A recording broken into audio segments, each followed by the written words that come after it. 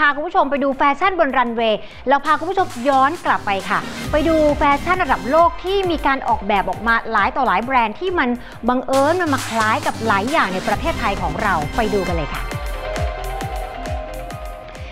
ชุดนี้นะคะคุณผู้ชมสร้างความฮือฮาในโลกออนไลน์ค่ะ เมื่อชาวเน็ตเนี่ยขุดภาพผลงานเสื้อผ้าของแบรนด์ดังอย่างกูชี่ค่ะ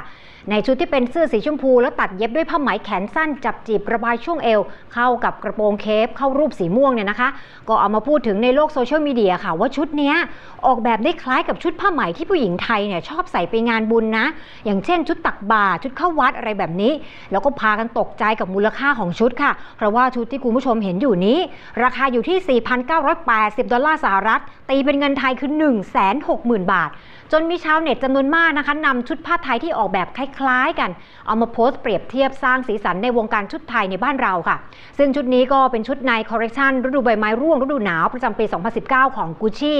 ซึ่งทางแบรนด์ตั้งใจออกแบบให้โชว์คอลเลกชันนี้ สื่อถึงความจริงที่ว่าสังคมของมนุษย์จำเป็นต้องสวมหน้ากากเข้าหากัน เพื่อเล่นละครในโรงละครที่เราเรียกกันว่าโลกค่ะ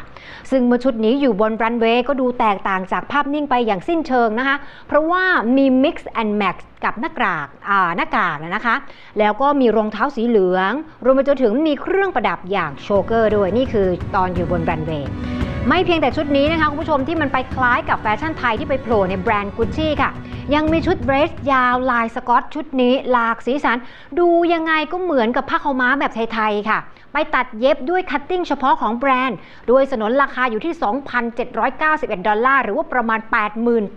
88,579 บาทไทยนี่แหละค่ะ ซึ่งก่อนหน้านี้ก็ยังมีคอลเลกชันกระเป๋าสานด้วยนะคุณผู้ชม มีหมวกสานอีกมากมายที่เห็นตามหน้าจอตอนนี้นะคะ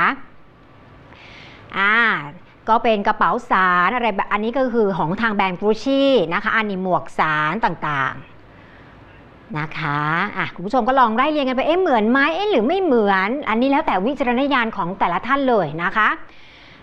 เช่นเดียวกับทางด้านของแบรนด์ Calvin Klein ค่ะ เปิดตัวหมวกมาในคอลเลกชัน Spring Summer ปี 2018 ในงาน New York Fashion Week นะคะอุ้ยดูยังไงก็ออกแบบคล้ายกับหมวกของชาวนาชาวไร่ชาวสวนบ้านเราจริง ๆ นะคะอะก็ไม่ต้องพูดถึงราคากันก็แพงแน่นอนนะคะอะส่วนในปี 2017 ค่ะ คุณผู้ชม นี่เลย แบรนด์ Louis Vuitton ค่ะ วางขายรองเท้า เป็นรองเท้าแตะนะคะ ในคอลเลกชันคือมอริเตอร์ตอง หลากสีสันเลย ราคาเนี่ยอยู่ที่คู่ละ 450 ดอลลาร์สหรัฐ ขายในประเทศไทย 16,700 บาท แหมมันถ้าย้อนกลับไปสมัยเด็กๆอะคุณผู้ชมนะ ดีไซน์คล้ายกันมาก ยังก็เป็นคู่เดียวกันกับรองเท้าแตะนันยางอะค่ะ แล้วก็รองเท้าแตะช้างดาวบ้านเราอะที่เขาขายกันราคาไม่ถึงร้อยอะแต่เราไปซื้อ Louis Vuitton ค่ะคุณผู้ชม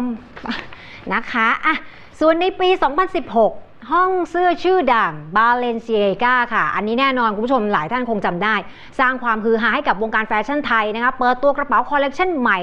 ฤดูใบไม้ร่วงฤดูหนาวในงาน Paris Fashion Week กับกระเป๋าใบโต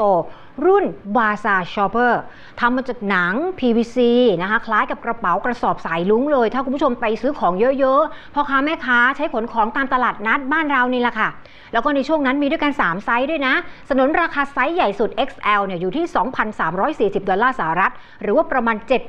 74,880 บาท ขณะที่ราคาขายถุงสายรุ้งของไทยเนี่ยราคาแค่หลักร้อยบาทนะคุณผู้ชม จนเกิดเป็นเทรนด์ฮิตค่ะสำเพ็ง Fashion Week ในช่วงนั้น หลายคนก็ถือถุงกระสอบ แล้วก็โพสต์ท่าสุดชิค ลงไปในโลกโซเชียลนะคะ แต่พอเมื่อย้อนกลับไปที่คอลเลกชันแบรนด์ Louis Vuitton ก็เคยออกกระเป๋าในปี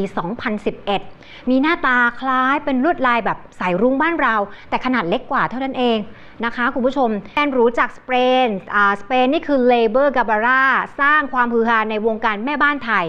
วงการแม่บ้านไทยก็คืออะไรคะ ผ้าถุงบนรันเวย์แบบนี้ใน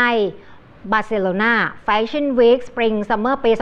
2016 ก็เป็นกระโปรงคล้ายผ้าปาเต๊ะนี่แหละค่ะ คล้ายผ้าถุงเนี่ยดอกชบาเป็นลายดอกๆแบบนี้ เป็นเพียงบางส่วนเท่านั้นนะคุณผู้ชมนะที่นำมาให้ดูกันเป็นแฟชั่นระดับโลก ที่นำมาให้ดูว่ามันมีความคล้ายคลึงกับสิ่งที่คนไทยคุ้นเคย เพราะว่าแฟชั่นเนี่ยเข้าถึงคนได้ทั่วโลก และไม่มีวันตายนั่นเอง ก็เป็นเรื่องราวสนุกๆคุณผู้ชมคลายเครียดไม่ไม่ไม่ซีเรียสไม่จริงจังนะคะ แต่ดูยังไงก็เหมือนค่ะ